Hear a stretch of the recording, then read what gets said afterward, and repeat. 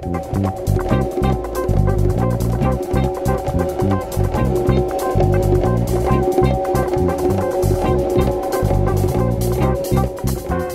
ritrovati con un nuovo appuntamento di Sportissimo, la nostra rubrica dedicata allo sport locale. Vediamo insieme come è andata la domenica delle squadre impegnate nei campionati di eccellenza e in promozione in questo servizio.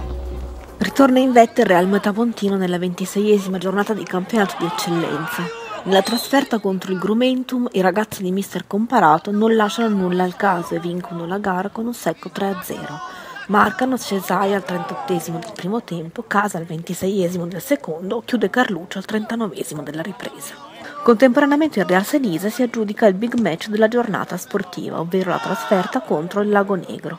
Il Real Senise vince per 1-3 con ben due reti trasformate su rigore. Marca per i padroni di casa del Lago Negro Tuzio al ventesimo del primo tempo, seguono la doppietta di Cotello al secondo del secondo tempo e al ventinovesimo del secondo tempo chiude su rigore Balzano al quarantottesimo della ripresa. Uno sguardo rapido alla classifica conferma il Real Metapontino in vetta a 57 punti, seguito a brevissima distanza, cioè 56 punti, dal Lago Negro.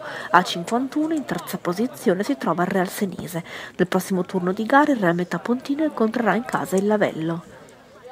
Le ioniche di promozione non hanno invece avuto una giornata particolarmente favorevole, rimangono comunque lontane dalla retrocessione stabili a mezza classifica. Il Tursi ha 41 punti e settima, ottavo il Rotunda Maris con 33 punti.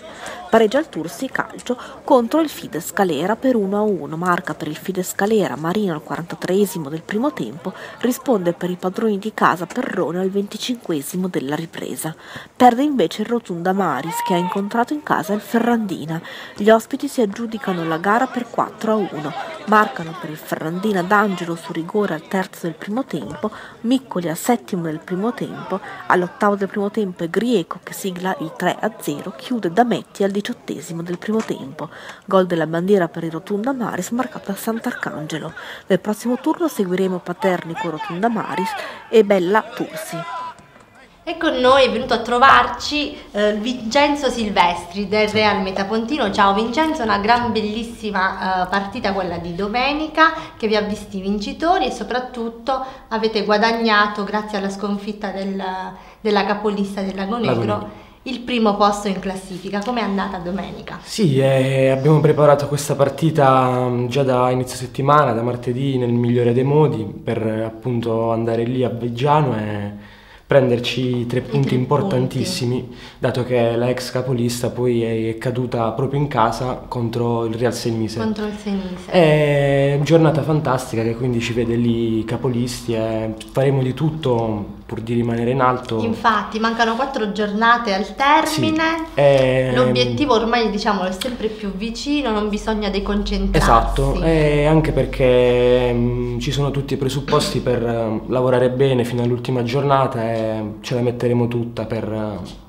magari chissà fare questo salto in Serie D ben venga. Per arrivare alla Serie D, sì. diciamo l'obiettivo stagionale era la salvezza, la eravate salvezza. partiti con esatto. i piedi di piombo, invece oggi invece, passo dopo passo ci ritroviamo con un'altra storia, con un altro futuro e quindi... Qual è il segreto del Real Metapontino secondo te? Eh, siamo, guarda, siamo una squadra davvero molto giovane, con qualcuno di esperienza e, ed è un gruppo dove davvero ci sono i presupposti per lavorare bene, quindi ci sono tanti ragazzi che, come me che abbiamo voglia, fame di arrivare um, con un ottimo staff che ci segue da agosto eh, era impossibile non fare così bene quindi... con mister comparato sempre molto attento sì, sempre molto, molto disponibile. disponibile. lui come tutto lo staff è proprio un insieme siamo una squadra davvero ben assemblata ben compatta Ora domenica prossima contro... contro giocheremo contro il Lavello che è una squadra um, che è salva ma che è davvero tosta, quindi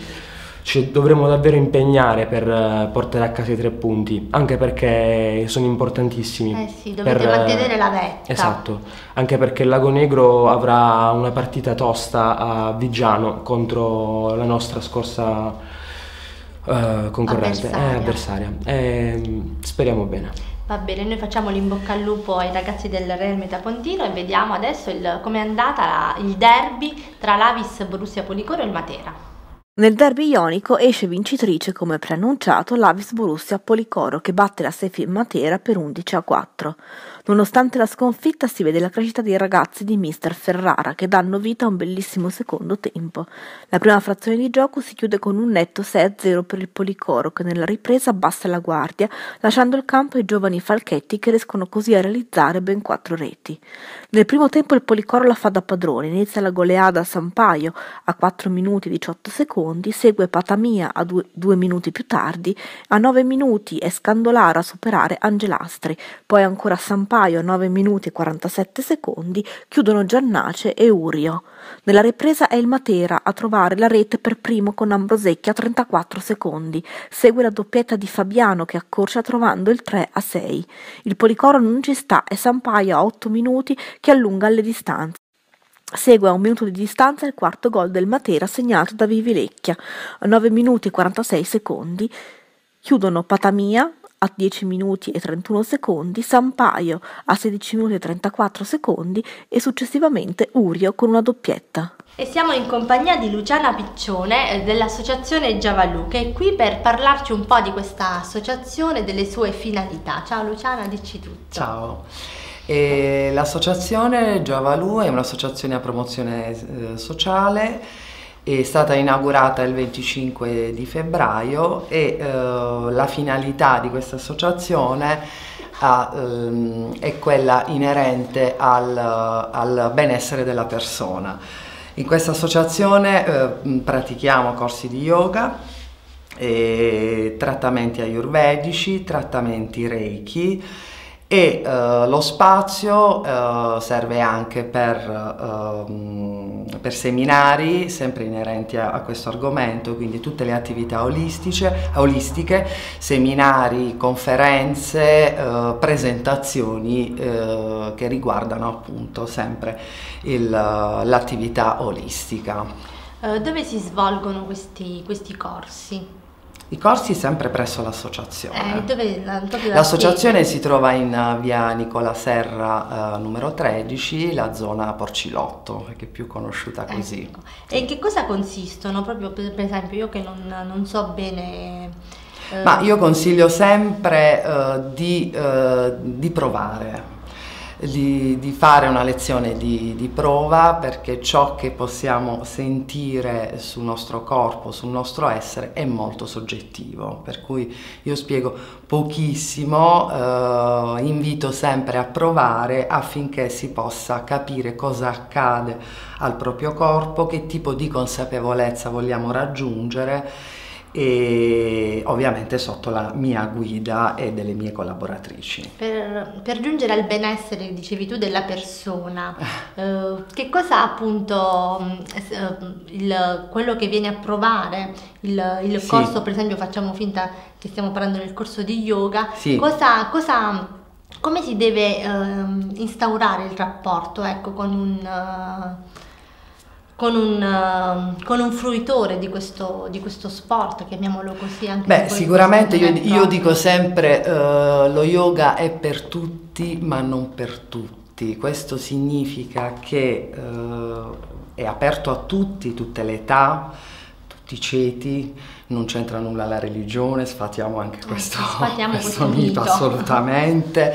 Eh, possono farli i bambini, possono farle persone eh, di una certa età, eh, uomini, donne, eh, donne gravide, è aperto a tutti, ma ci deve essere un'apertura di cuore e di mente, mm, significa che io devo essere eh, aperta a ricevere, ok?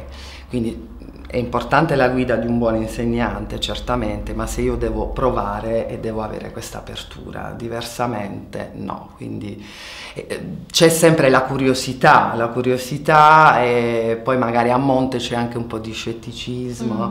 però invito, ripeto, sempre a provare. Eh, spiegare a volte non serve perché ripeto le sensazioni che si possono provare durante una lezione di yoga già dalla prima lezione Um, Sono personali, poi sì, soggettive. Sì, ecco, sì, Diciamo che uh, è, lo yoga intanto è una disciplina. Questo è molto importante da chiarire, non è uno sport, è una eh, disciplina infatti. e bisogna avere pazienza pazienza, costanza e, e, volontà, insomma. La costanza è importante, è chiaro, se io pratico una volta al mese i risultati non, non li otterranno mai. Non li ottengo, quindi bisogna, bisogna praticare almeno due volte, due, due, o tre volte a settimana per raggiungere dei buoni risultati, perché i benefici sono molteplici, sono veramente tanti. E, e non, se, non, è solo un discorso fisico, eh, lo yoga va al di là di tutto questo. Questo poi ovviamente essendo un percorso eh, è una continua scoperta, una scoperta di se stessi e, e quindi bisogna lasciarsi andare e farsi guidare dal proprio sentire. Va bene, noi ringraziamo Luciana Piccione per il suo intervento e per la sua spiegazione molto chiara e noi diamo appuntamento alla prossima settimana con una nuova puntata di Sportissimo. Grazie per l'attenzione.